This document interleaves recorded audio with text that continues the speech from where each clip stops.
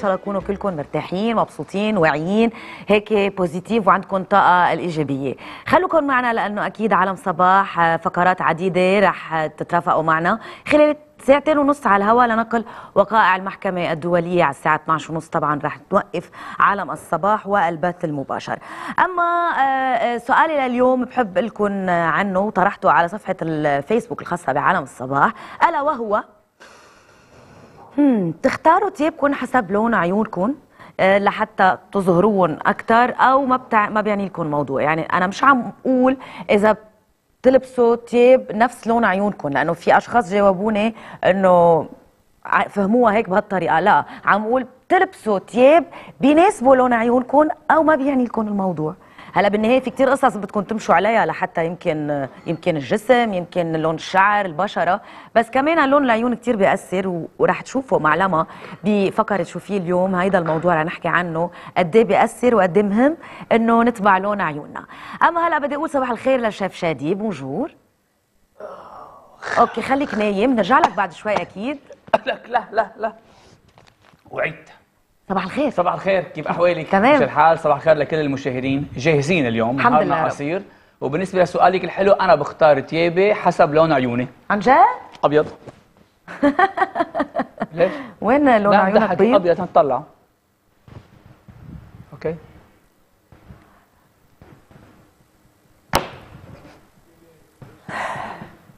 نرجع له أكيد للشيف شادي وعندنا فقرات معه أكيد ومحطات متعددة. أما هلا خلينا نعمل جولة سريعة preview لنشوف حلقة اليوم شو بتتضمن.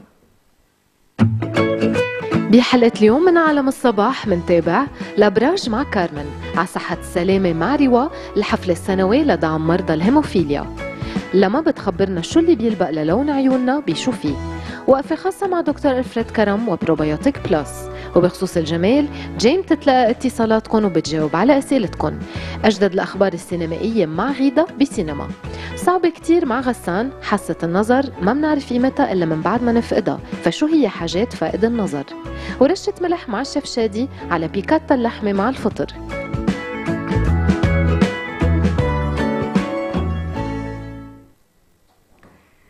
طبعا بعدنا مكافيين بحملة عالم الصباح اللي عم نقوم فيها خلال شهر تشرين الأول اللي بتتضمن أو بتختص بحقوق الإنسان واليوم رح نشوف كمان روبورتاج بيحكي عن حرية الاختيار والتفكير واختيار إذا بدكم العقيدة والدين. بنشوفه سوا وبنرجع أكيد.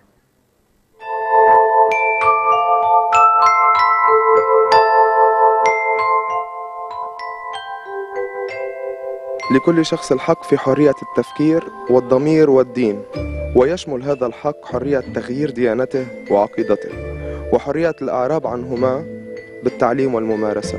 أكان ذلك سرا أم مع الجماعة؟ حلو.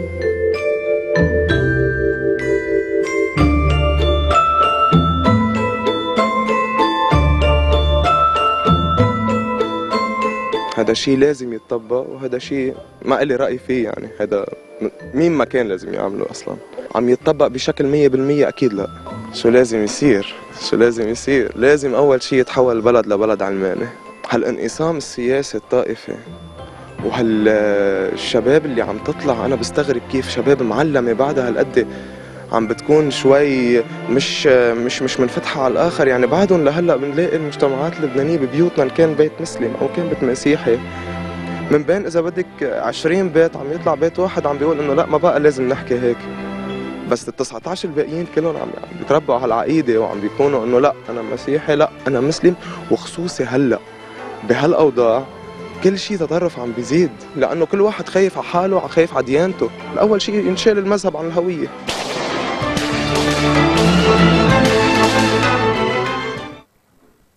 حلو كتير الروبورتاج آه، أكيد آه، ومع مع الأسف يعني سنة 2014 بعدنا بنفكر بهيدي الطريقة مش أنا أكيد. الإنسان إنسان بالنهاية بس في بعد عالم بفكروا بهيدي الطريقة على أمل إنه يتذكروا إنه الانسان إنسان وكلنا واحد. آه رح ننتقل لفقرة الأبراج مع كارمن ونشوف شو بتتضمن آه أو شو بيتضمن حظنا لليوم.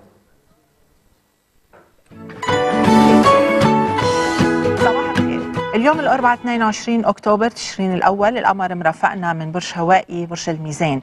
القمر والشمس اثنيناتهم موجودين ببرج هوائي برج الميزان. الأجواء رائعة الأبراج الهوائية الميزان الجوزاء وأيضا الدلو. كيف رح بيكون نهارنا؟ بنبدأ مع أول برج برج الحمل.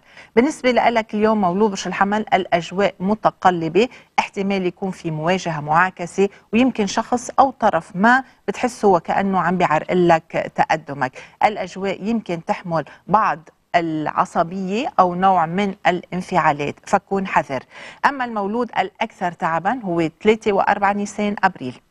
ننتقل لبرج الثور بالنسبة لبرج الثور الأجواء اليوم بتحمل آه، شغل آه، بتحمل يمكن حتى ضغط روتيني ويومي آه، بتحمل بعض التقلبات يمكن تكون صحية وبالتالي مطلوب منك اليوم تنظم وقتك تنسق جدول أعمالك لحتى ما تشعر بالتعب. وما تفكر تأجل لبكرة أو لبعد بكرة لأنه الأجواء ما بتحمل المزيد من الضغوط. وبعتبر المولود الأكثر تعبا 13-14 أيار مايو.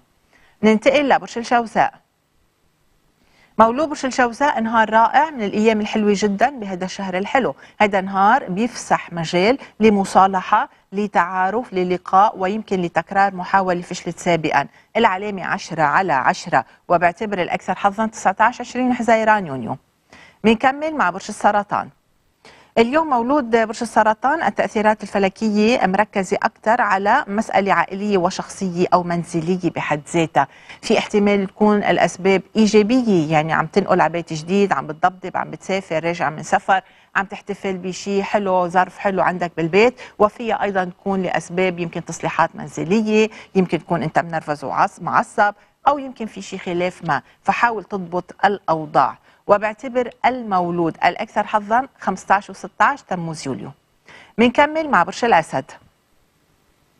بتكتر يوم المفاوضات الحكايات والزيارات التواصل مع الآخرين اليوم مثمر جدا وجيد جدا. من الأيام اللي فعلا تتحفنا بفكرة أو بمشروع. ما بتهدى بهيدا النهار. وبعتبر الأكثر حظا 11 ل 13 آب أغسطس.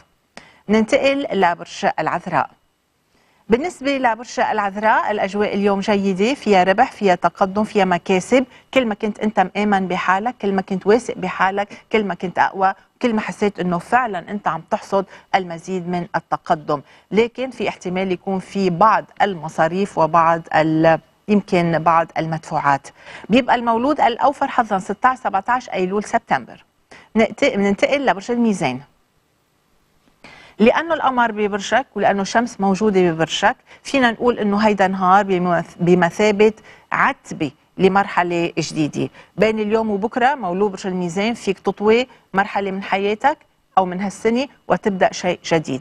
القرار رح بيكون هين بالنسبة لك بين اليوم وبكرة شيء جديد بانتظارك. وأي مسألة عالقة بتبطل عالقة. وبعتبر الأكثر حظا اليوم هو 21 و 22 أكتوبر تشرين الأول.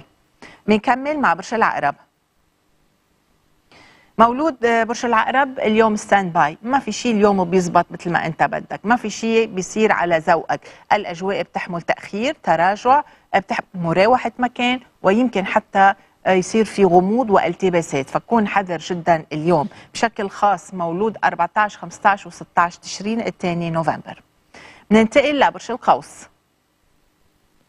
بالنسبة لبرج القوس نهار كتير حلو لحتى تبين آه، وتلفت الأنظار اجتماعيا مهنيا دراسيا بأي حقل. الأجواء كتير حلوة هنالك تقدم هنالك مساعدات استفيد من هالنهار لأنه الأيام المقبلة ما رح تكون داعمة هالقد لإلك. فما تترك نهار يمرق مرور الكرام. وكون حذر جدا 19 و20 ديسمبر كانون الأول. بنكمل مع برج الجدي. ضغط كتير عليك اليوم وكأنه مطلوب منك إنك تعطي شيء ما والناس ناطرة لحتى تمتحنك تقيمك وتعطيك علامة. هيدا نهار بحملك مسؤولية بسلمك راية معينة قضية معينة فضروري تكون شاطر وأدى ومحضر حالك. وبعتبر المولود الأوفر حظا نسبيا 13 14 كانون الثاني يناير. بنكمل مع برج الدلو من الأيام الحلوة والجيدة والمثمرة يلي بتفرح فيها بتتسلى فيها يلي فعلا بتقدر تعطي أفكار بكل راحة بكل حرية وما حدا بينتقدك عليها. الأجواء آه كثير مهمة حظوظ دسمة العلامة 10 على 10 وبعتبر الأكثر حظا مواليد 17 و 18 شباط فبراير. بنكمل مع برج الحوت. مولود برج الحوت شوي شوي بيمشي الحال. ما تفكر إنه اليوم فيك تلغي هالنهار وتلغي المواعيد المطلوبة منك إلا إذا فيك تأجل لبكرة أو بعد بكرة بيكون أفضل. أما إذا مضطر وصار لك زمان عم بتأجل وخلص الوقت فضروري اليوم تتابع الأمور بكل موضوعية. بدك تكبر عقلك شوي وتمشي الحال وتشوف هن شو بدهم. بيبقى الاكثر حظا 13 14 اذار مارس. بختم مع مولود اليوم. بالنسبة لمولود اليوم سنة كتير مهمة سنة مميزة سنة فيها تقدم فيها صفحة جديدة مختلفة متنوعة فيك تقريبا تعمل اللي بدك إياه. هنالك اجتماعيات كتير كبيرة بتوصلك لذلك التحالفات آه، توسيع دائرة التحركات الاجتماعية والمهنية بتفيدك جدا. أكتوبر شباط فبراير حزيران يونيو هن أفضل الأشهر. إلى اللقاء بكرة أبراج جديدة. bye bye. كافيين أكيد معكم عالم الصباح وتاني فقرة بعالم الصباح. رح بتكون عن جورج ونشوف حركات اليوم وكيف فينا نحرك جسمنا.